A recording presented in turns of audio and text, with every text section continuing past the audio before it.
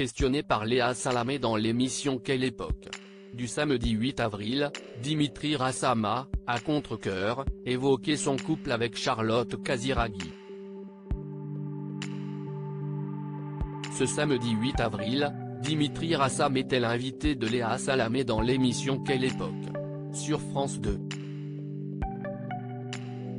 En pleine promotion de son nouveau film Les Trois Mousquetaires, D'Artagnan sorti le 5 avril dernier, le producteur a fait quelques confidences sur sa vie personnelle. En couple et marié avec Charlotte Casiraghi, membre de la famille princière de Monaco et ex de Gad Elmaleh, les deux jeunes parents de Balthazar nés en 2018 sont assez discrets sur leur relation. Interrogé par Léa Salamé, il a fait savoir qu'il n'avait pas peur qu'on lui parle de son couple lorsqu'il était sur des plateaux télé mais n'a pas caché sa pudeur et sa gêne. J'ai beaucoup de chance d'avoir une épouse merveilleuse je suis aussi très fier de mon épouse. Mais quelque part, on n'a jamais envie d'être réduit à ça. Elle me soutient et elle est très importante.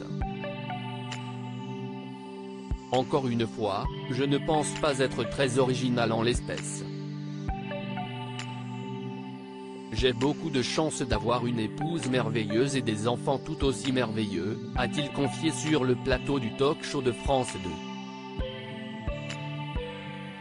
Et lorsque la journaliste lui a demandé s'il fallait qu'on l'appelle désormais prince maintenant qu'il était en couple avec un membre de la famille princière de Monaco, il a répondu, caché amusé, non. J'aime bien marquer la frontière entre les deux je comprends, ce n'est pas une histoire banale. Donc je comprends que ça intéresse et encore une fois, je ne vais pas faire le surpris en disant, pourquoi?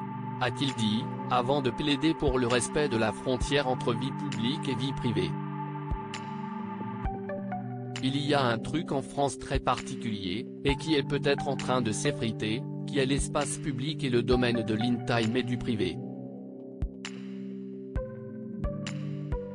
Si est vrai que moi, au-delà d'être pudique, j'aime bien marquer la frontière entre les deux, a expliqué Dimitri Rassam dans la foulée.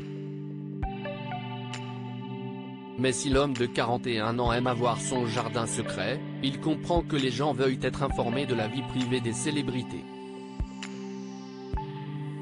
Même si pour lui, il faut quand même que cette fameuse frontière soit respectée.